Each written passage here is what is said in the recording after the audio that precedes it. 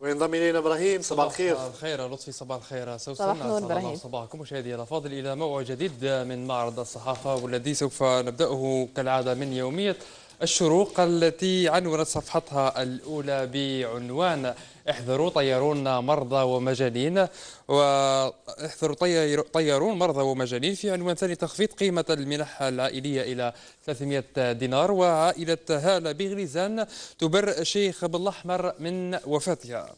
في يومية البلاد نطالع هكذا ستساهم الجزائر في القوة العربية. في يومية الفجر وبعنوان تونس آه، تنتفض ضد الإرهاب. وأخيرا من يومية الحياة نقرأ عودة الاحتجاجات في عين صالح. إلى التفاصيل وبداية من جريدة الشروق وفي مقال تحت عنوان الحكومة تتقن تقنن تهريب دوفيزا وإن كتبت الشروق أن الحكومة وضعت مجموعة من الشروط لضبط التجارة الخارجية وخروج العملة الصعبة حيث ربطت عمليات الاستيراد والتصدير بتراخيص إلا أنها جعلت من هذه التراخيص أداة في صالح المتعاملين خاصة هو تهريب الدوفيز تحت غطاء عمليات الاستيراد. في خبر ثاني تناولت الشروق قضية المبادرة الجزائرية لوقف إطلاق النار في اليمن وتحت عنوان مبادرة جزائرية من ثلاث نقاط لوقف إطلاق النار في اليمن. أين قالت مصادر أن مصدر دبلوماسي جزائري أن وزير الخارجية رمضان العمامرة قدم لنظيره المصري والسعودي المبادرة المتمثلة في مشروع من ثلاث نقاط وهي انسحاب الحوثيين من العاصمة اليمنية صنعاء وعودة البرلمان اليمني الذي تم حله في الإعلان الدستوري وإعطاء ضمانات أمنية وسياسية للحوثيين وحلفائهم في اليمن.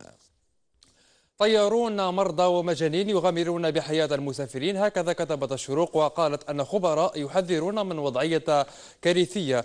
داخل شركة الطيران الجزائرية من مؤكدين أن معايير السلامة الطبية للطيارين المنصوص عليها في لوائح منظمة الطيران المدني غير مطابقة في أرض الواقع في شركة الطيران الجزائرية على اختلافها والتي تنص على إلزامية الخبرة الطبية والنفسانية والعقلية الدقيقة للطيارين قبل توظيفهم وكذا إخضاعهم لفحوصات طبية دورية إلا أن الواقع في الجزائر مغاير تماما ويكتنفه الغموض.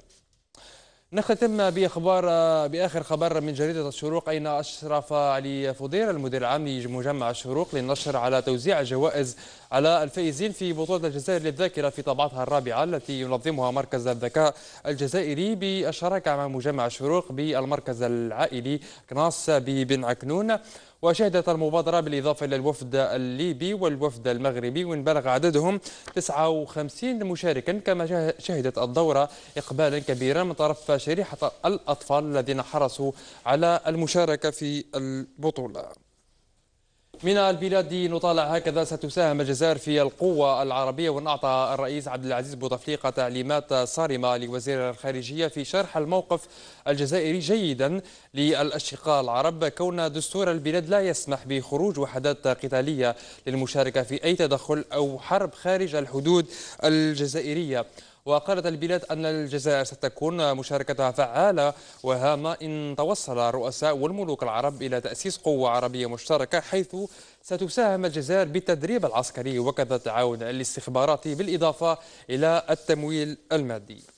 إلى يومية الخبر وتحت عنوان المعارضة الأزوادية تطرح سبعة شروط على الوسيط الجزائري ووضعت تنسيقية الأزواد التي رفضت الاتفاق الأولي الخاص بالسلام في مالي سبع شروط أمام الوساطة الجزائرية مقابل عودة المفاوضات.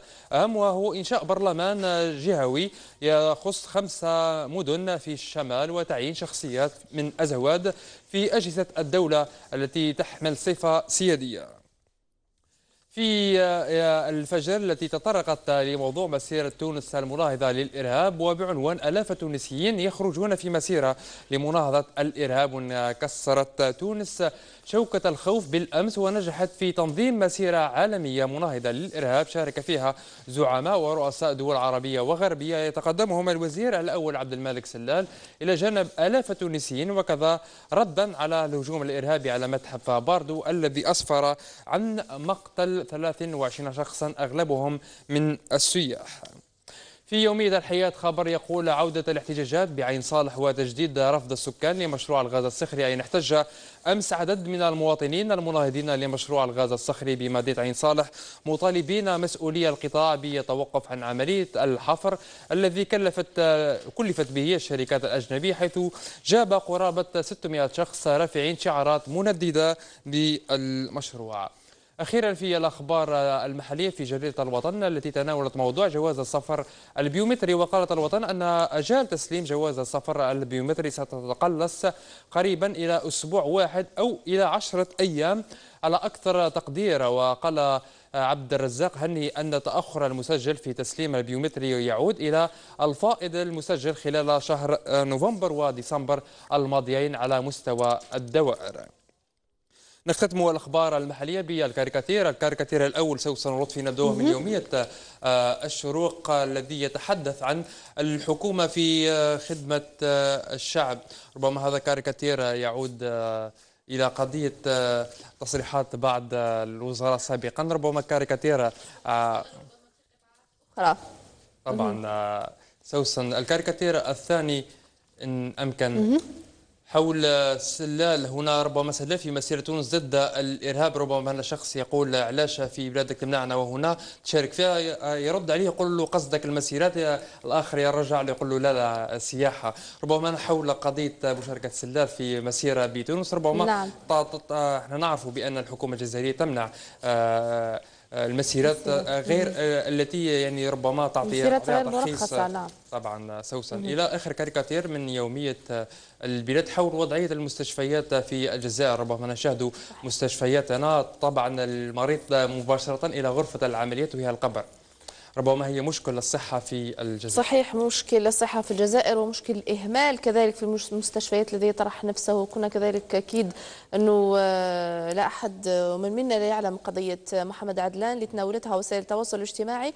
وكذلك ظهرت مؤخرا آه، في الإعلام للأسف الشديد نتمنى أنه المسؤولين يهتموا أكثر بهذا القطاع الحساس ربما حتى قضية عدلان لو ربما الفيسبوك والمواقع التواصل الاجتماعي اللي ربما خلت آه، تعطيها صدى أكبر وبعد تصريح الوزير اللي قال ربما هو اللي حيتكفل بعد ما مر على قناة آه، الشروق آه، في برنامج وفعلوا الخير. بعد ذلك شفنا الوزير عبد الملك بوضياف كان صرح وقال أنه سيتكفل بهذا بهذا وضعية الشاب وكان من المفروض تكون حاضره اليوم نعم. معنا والدة عدلان لكن تعذر عليها المجيء.